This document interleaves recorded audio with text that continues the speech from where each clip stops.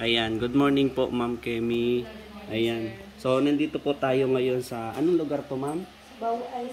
San Fernando. La Union. Ano po? So, nandito po ako, interviewin ko po si Ma'am Kimi kasi isa po siya sa natulungan po at napakagandang testimony po ng ating product na One of the Diyos. Ano po? So, Ma'am Kimi, pwede niyo po bang i-share sa akin ah, ano po ba yung karamdaman mo before bago ka uminom nitong product natin na Diyos? Pwede niyo pong hawakan, Ma'am. Sige po. Na-diagnose po na may colon cancer Mm. recurrence. Apo. And then, in-advise na for chemo. Mm-mm. And then, nag-chemo ako ng 8 cycle.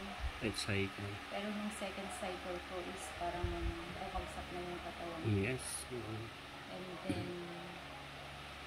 Pinainom ako ng Opti. Trinay ko.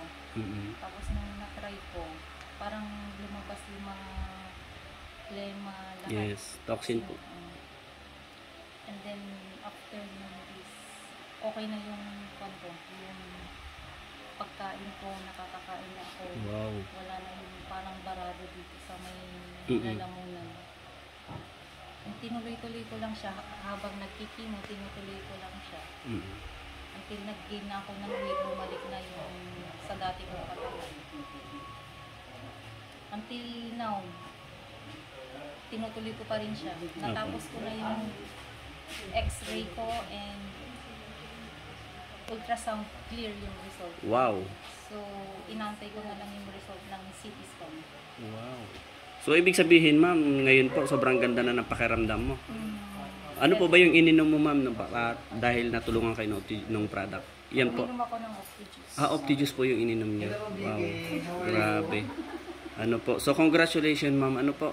Ah, ito po ay magandang testimony na ma, pwede natin magamit para makita po ng ibang tao na may katulad din po ng karamdaman mo. Ano po.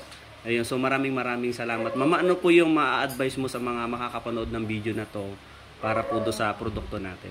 Para dun sa mga may nararamdaman, uh, try nyo munang uminom nito. Yes. And ma, ma, uh, ma, mapapatunayan nyo na Yes. ma, ito ay Effective. effective. Mm-mm. Kayo na mismo ang magpapatunay sa sarili nyo na effective ang Optijuice. Ayun. So, grabe. Maraming maraming salamat po, Ma'am Kimi. Ayan po. So, isa po ito sa napakaganda na namang testimony na natulungan po nitong product natin. Ayun. So, maraming maraming salamat po, Ma'am. And God bless po. Ayan.